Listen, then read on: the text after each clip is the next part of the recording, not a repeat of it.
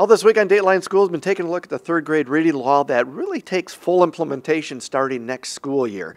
And to tell us more about this, my special guest is Brenda Tenniswood. She's the Director of General Education here at St. Clair County RESA. And Brenda, like with any laws, the, the intent really isn't just to make sure kids are reading by third grade level there's got to be more beyond third grade. What, what, kind of expectations are there? A couple. First, I think the law, the reason the law targeted third grade is because the research is so compelling about this window in which students learn to read versus reading to learn. And that shift is usually between third and fourth grade.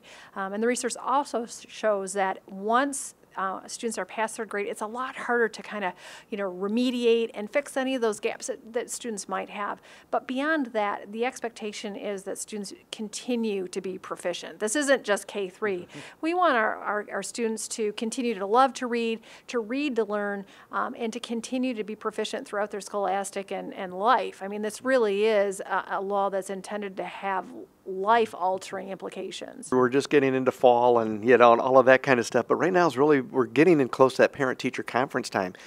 Is this something that would be good for those elementary parents to bring up to their teachers when they talk about their kids at, at conferences? Absolutely. Like that is, I think, one of the most critical things to bring up. Um, certainly, you want to ask questions like, how is my child interacting with other children? Because that's a critical part of learning. Like, what's that social sphere looking like? But this is the time of year when our teachers are administering those initial assessments. So, where are my child's strengths? Where are they really doing well? Are there any areas that they're struggling with?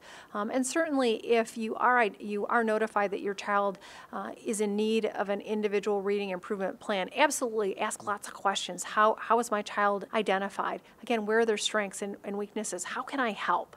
You know, where are the resources? What supports can you have for me as a parent to help my child? And my guess is, as a parent, model this behavior at home, isn't it? Absolutely. You know, and you can. It doesn't have to be like this really academic formal. It's when you're writing the grocery list. You know, make sure your kids see you writing the grocery list and and stretching out those those sounds. If you're on your iPad reading, talking to your child about what you're reading. So again, it's being that that model of what literacy looks like. For Dateline Schools, I'm Terry Harrington. Dateline Schools is a production of St. Clair County RESA.